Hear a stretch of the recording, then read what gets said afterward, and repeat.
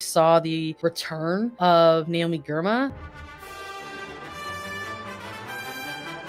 With this team in 2022, after being drafted number one overall with San Diego Wave, it was her first time back with the senior team in camps, I believe, since 2019. I don't think people anticipated what somebody like Girma was going to bring and provide for this team because yeah. it was necessary. It was like what's going like what's happening in this in these center back positions. This combination of like here's Alana Cook, she's this last center back standing. We've got to get some more depth in this position, and here is Naomi Girma uh, being the one to step in there and solidify her spot. She rose to the occasion tremendously.